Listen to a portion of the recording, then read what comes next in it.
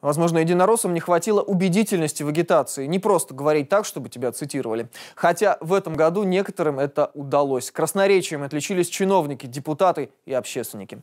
Екатерина Хлемьязева собрала самые яркие цитаты этого года Катя, кажется, некоторым публичным людям лучше молчать, чем говорить. Это точно. Одна случайно брошенная фраза, и тебя уже осмеивают даже за океаном. Вот, например, одна из цитат Виктора Назарова в этом году попала в ведущие российские СМИ, а из них уже перекочевала в зарубежные. Его процитировали около 200 американских газет. Про него и про других ораторов года мы собрали материал.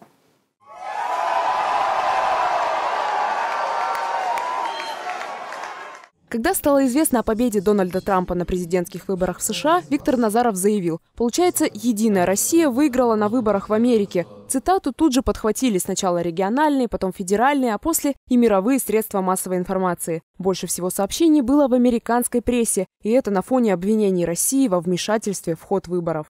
Это нужно потом долго разъяснять, там что-то оправдываться. Ну, лучше так не шутить. Впрочем, Виктору Назарову не привыкать. Он за словом в карман не лезет. В мае глава региона пообещал стимулировать чиновников двумя морковками. Одной спереди, другой сзади. Так метафорично губернатор описал систему поощрений глав районов за привлечение бизнеса. Кому по итогам года может достаться морковка сзади, в правительстве так и не сообщили. Своеобразным чувством юмора блистали и депутаты Омского городского совета. Александр Иванов на одном из заседаний выступил в защиту бездомных собак. Стерилизацию дворняк он назвал уродованием, а закончил выступление словами «Предлагайте животных кастрировать, а потом предложите членов комитета». В ответ на это общественная организация «Друг» на своем сайте заявила. В связи с тем, что целями деятельности деятельности организации является снижение популяции только безнадзорных животных, мероприятия по кастрации депутата Иванова планом работы приюта «Друг» не предусмотрены.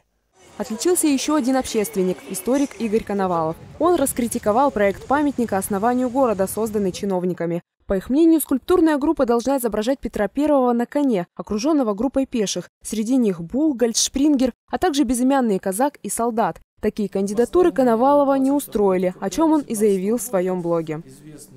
Если в центре композиции Петр, который здесь не был, то сама композиция собирательная и введение в нее собирательных образов спорно. В общем, самым достоверным персонажем в композиции остается конь.